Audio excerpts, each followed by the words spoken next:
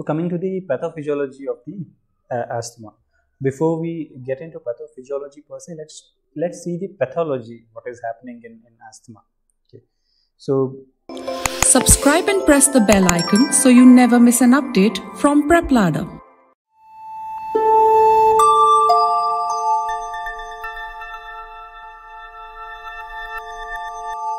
So coming to the pathophysiology of the uh, asthma. Before we get into pathophysiology per se, let's let's see the pathology, what is happening in, in asthma. Okay. So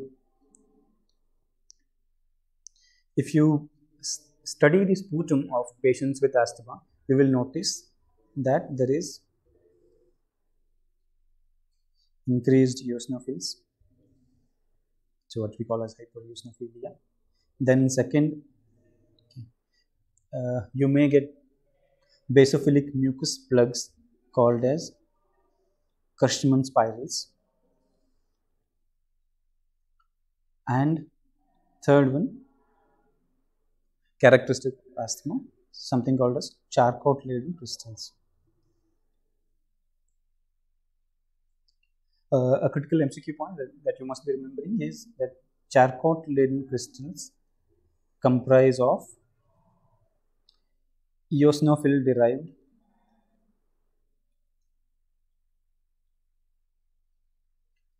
galectin 10 protein. So this galectin 10 is a protein derived from eosinophils and the Charcot Leyden crystals are made of that.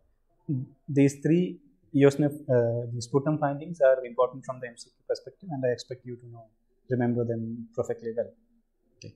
If you see their uh, uh, biopsy specimens of the patients with uh, bronchial asthma, you will notice that uh, notice certain changes. Okay. The first and most important change is there is mucus hypersecretion.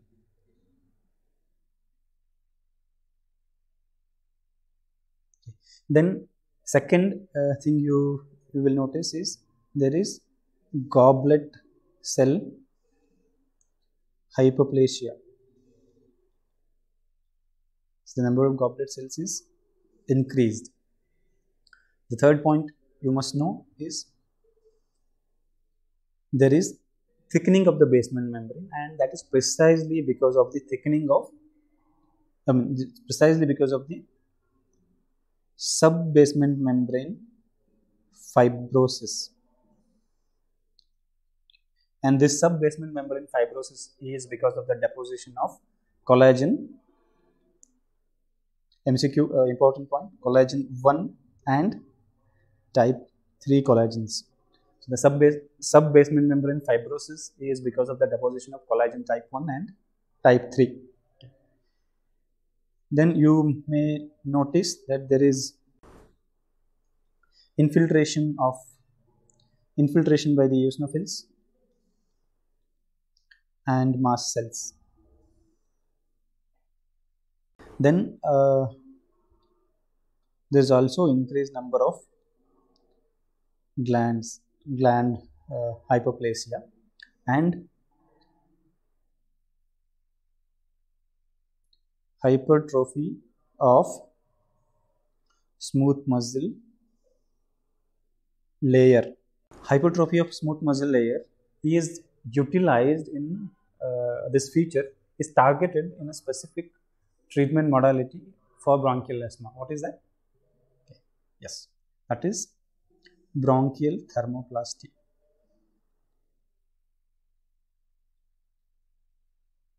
See, whenever there is uh, uh, bronchial asthma, because of repeated uh, exposure to the triggers, uh, there is hypertrophy of the smooth muscle. This is almost akin to sending your bronchial muscles to gym. Okay. So this hypertrophied muscle, with the passage of time, mount more stronger response to allergens, the more stronger bronchoconstriction to allergens. So in bronchial thermoplasty, what we do is we expose the uh, bronchial uh, mucosa and, and, and thus indirectly to the uh, uh, bronchial smooth muscles to high intensity heat. So thermoplasty, high intensity heat, which will reduce the hypertrophy of or kind of introduce uh, atrophy of the bronchial wall smooth muscles. And that significantly reduces the asthma uh, attack episodes. And studies have consistently proven the uh, efficacy of bronchial thermoplasty and it is increasingly being used across centers wherever there is availability of a bronchoscopy suit. Now let us look at the uh, pathophysiology. We have just now looked at the uh, pathology. Now let us look into the pathophysiology. Okay. So the physiological hallmark physiological hallmark of asthma is airway hyperresponsiveness. Okay. So this is all is the reason why we get the symptoms that we get in, in, in asthmatics. Okay. And we also know that this is an inflammatory condition led by eosinophils. So this is basically an eosinophilic bronchitis.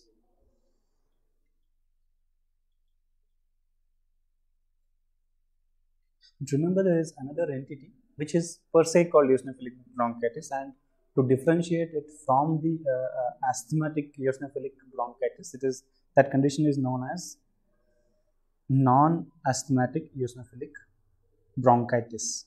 Okay. There are certain differences between uh, eosinophilic bronchitis that we see in asthma and NAEB. The main difference is that the patients with NAEB present with cough, often chronic, but there is no objective evidence of airway hyperresponsiveness. How do we demonstrate airway hyperresponsiveness? We demonstrate airway hyperresponsiveness by demonstrating bronchodilator reversibility. So that is absent in patients with non-asthmatic uh, eosinophilic bronchitis. These patients do respond well to, sorry, this patient do respond well to inhaled corticosteroids. Okay, so the treatment of choice for the patients with uh, non-asthmatic eosinophilic bronchitis is inhaled corticosteroids, an MCQ point. Now coming back to the uh, asthma proper, so we understand now that in the pathophysiology, uh, important thing is that it's, it's, it's a disease led by uh, eosinophils and we should understand why there is hypereosinophilia and eosinophilic inflammation in asthma. That is because in a normal person, whenever we are exposed to an allergen,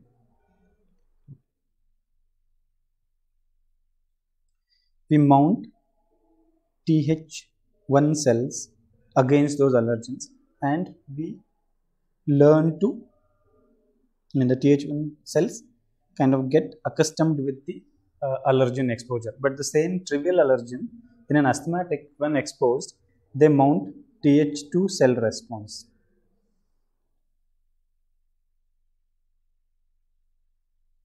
Okay. So the, uh, the allergen is first presented to the antigen presenting cell which in uh, here is a dendritic cell okay, which stimulates the Th2 cells.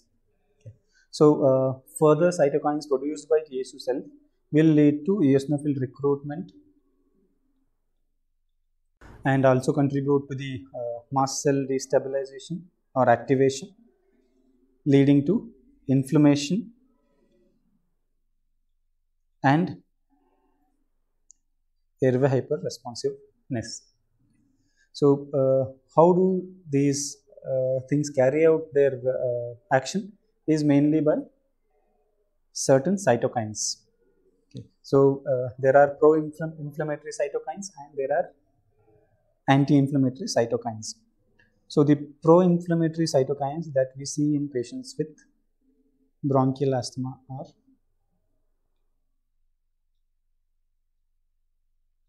So, the uh, interleukin 4, 5, 13, 9, these levels are elevated in patients with bronchial asthma and are, these are pro-inflammatory cytokines. Then uh, anti-inflammatory cytokines whose levels are often reduced in patients with bronchial asthma.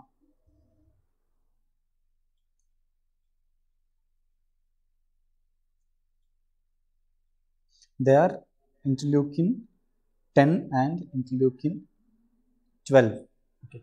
Remember the uh, interleukin 12, absence of interleukin 12 is a critical drive for uh, switch from TH TH1 to TH2 response whenever we are exposed to allergens. So, if interleukin 12 is not there, then the normal Th1 response is not mounted and instead the uh, type 2 helper T cells are activated, leading to inflammation and airway hyperresponsiveness.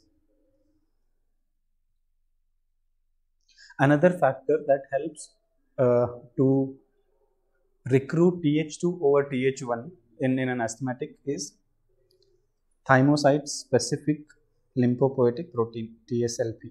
So remember these two points which uh, support Th2 response over Th1 interleukin 12 and TSLP. So now we know what gross pathological changes are happening and what uh, pathophysiological changes are happening that actually trigger an asthma uh, episode.